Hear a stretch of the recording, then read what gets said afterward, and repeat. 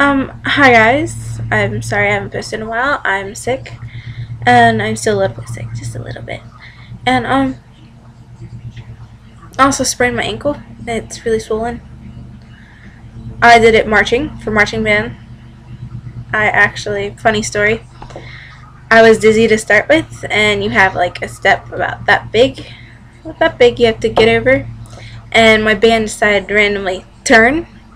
And I'm like second in line, so it's like I had no warning. I just, just bam turn, and I stepped on this soft dirt, and I kind of just one second I was up in attention, and the next time on the floor. Whole band died laughing. I'm sitting there. I'm like I can't get up. My ankle's twisted. It hurt. I was crying from laughing, laughing, laughing, and um, it was pretty funny actually. But I also got made fun of today for that because we went out marching again. But I got up and I kept marching and I was proud of myself. Yes, sir, yes, sir. Do you know how hard it is to do that? Very hard. March on a sprained ankle. And I roll step too. That's really hard. Um, anyways, yeah. So I'm going to teach you all about embouchure. I had somebody tell me that they had one without a mouth plate. Those are the harder ones, guys. They're most likely wooden, and it's really, really hard to play. I actually learned on that first, which made this so much easier. So if you have a non-mouth plate one, kudos. It'll take a while. Get close up on this mouth situation. Piccolo head joint. Yes, Lauren, what do you want? I'm doing pick of the picks. I'm just observing. My. Again. Shut up. Because she's fascinated with the flute. She wants to learn. Oh, yes. No, I don't. Shut up. I'm I love my clarinet. Shut up. And anyway, this is the mouth plate. And your mouth plate is your best friend. Um, to get a proper embouchure, you want to act like you are blowing into a water bottle. I mean, as kids, we've all done it. You go when you blow down. Well, you do the same with the piccolo and the flute. Um, you want to put your bottom lip on it, and you put the very end at the very beginning of the hole. Like that. And then you put your lips together and roll up. The top lip right here, that top part, has to match that. And then you just blow.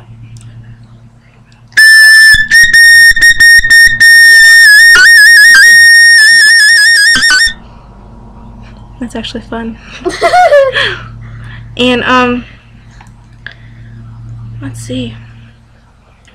You always want to roll out before you play. Like if you're doing a flute.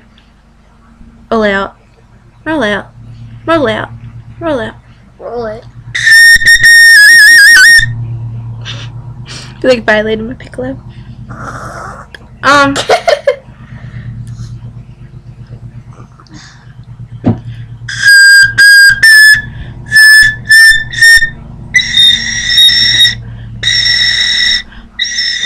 hear that sound, it means there's not enough air.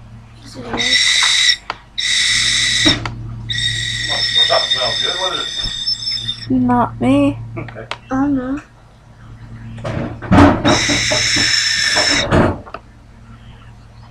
That means that it is not enough air. Not enough air means you can't make a note. You want to make a note. If you have that noise, you blew too hard. You're not trying to blow all your air into it. You want to moderate the air. You blow exactly like you're blowing to a flute.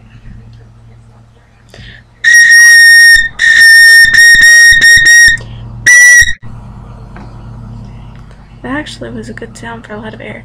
Okay. Oh no. You have like a twitch.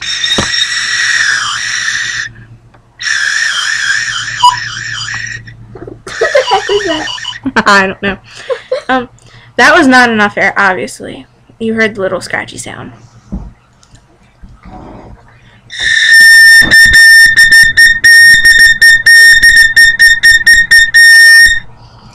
Alright, and when you first start playing, you're also not going to have a lot of lung support, obviously, because it's a lot different from the flute. So, get away. You made your cameo. Get away. So, you you will get better at learning how to play longer notes, at learning how to play as more notes with one breath. Like you will get better. I guarantee you. Everybody does. And hmm. If you don't have a mouth plate and you just have the hole, you basically just you really want to make sure you're rolling you really want to make sure you're rolling. Rolling when you don't have a mouth plate is your best friend. It is. Because it ensures that you have your mouth positioned correctly. If you have it too far up, uh-huh. It makes that weird noise. And that's not a regular noise. Also makes it sharper. You it too far back, too far back. You can't even get a sound out of it. And you want a sound out of your piccolo. Um, anyways, I hope I answered your questions. If not, comment and I will, I guess, post a video response answering the questions. Um, thanks. I love you. Bye.